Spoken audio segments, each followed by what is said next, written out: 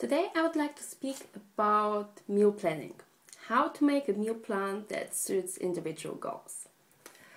This can be really confusing, especially for beginners, because there are so many different guidelines out there. For this reason, my first tip is keep it as simple as possible. Just keep it simple, then the chances are the highest that it will really work. Number two, know your goal. Is it weight loss, maintenance or weight gain, meaning mostly muscle gain. Calculate the number of calories you need to consume. Here I would recommend not to use the calculators online, but make a dietary assessment. So track what you eat for two to three days and then calculate the calories and nutrients you consume because the numbers you get online, uh, online are usually means from scientific studies and science scientists publish means. This means that for individuals, the individual caloric intake can be more than 500 calories higher or lower than the mean. So the best thing is to know your point where you are at. So after you calculated what you consume, if you have to know if you're losing weight or gaining weight or maintaining at the moment.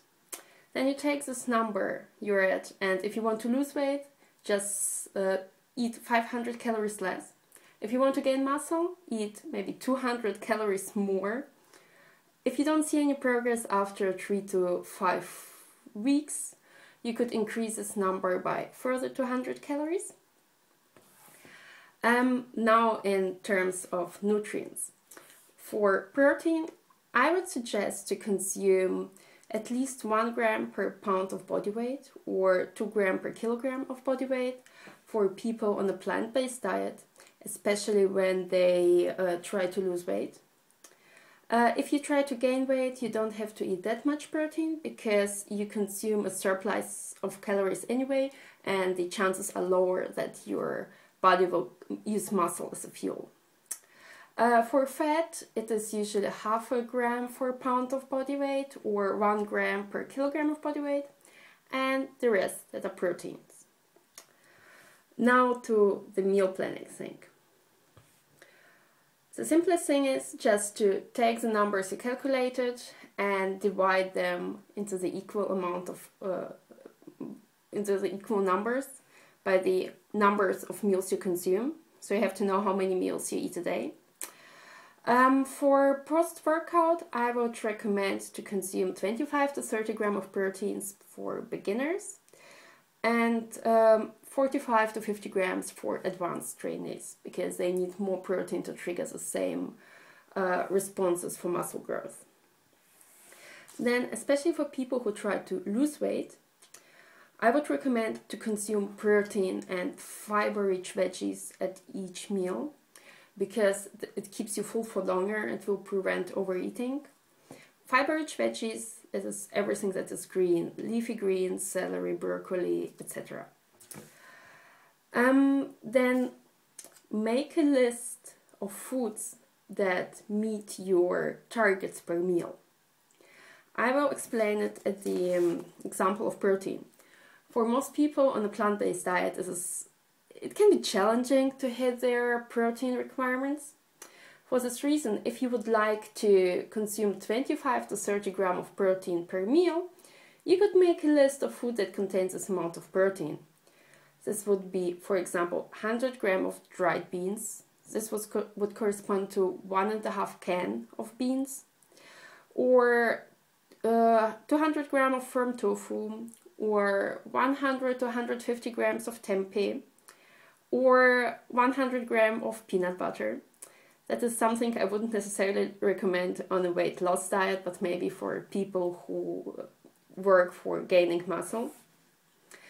Okay, then after you determined what you actually need per meal, you could cook the food in big batches. For example, beans, you could make a dal or uh, or legumes in general. You can make a dal, or curry, uh, chili, lentil loaf. I love lentil loaves. Then you portion them into the right sizes, corresponding to the um, portion size of your meal. For example, if I make a, lentil loaf of uh, 500 grams of lentils and I want to have 20 to 30 gram of proteins per meal, then I will just cut it in five slices and then I can freeze them individually. And I have them for later when I run out of food during the week. Um, some people will say, okay, it's boring to eat the same every day, but then you can be more creative and use lots of spices. You can change the flavor by using different spices. My favorites are dried onion powder, dried garlic, uh, cumin, smoked paprika. Yeah. And another thing is have always a backup with you. So if you run out of food somewhere, if you get stuck at work, to, not to make poor choices, just have a protein bar or maybe some nuts in your bag. So if you get hungry, that you don't mess up your diet by eating junk food. Yes, and at the end, I would like to say that progress is not just about one day. If you have a goal, it won't happen overnight. It's not super important what you eat at each single meal, but how the 24 hours look like, or even how weeks and months look like to see the long term progress.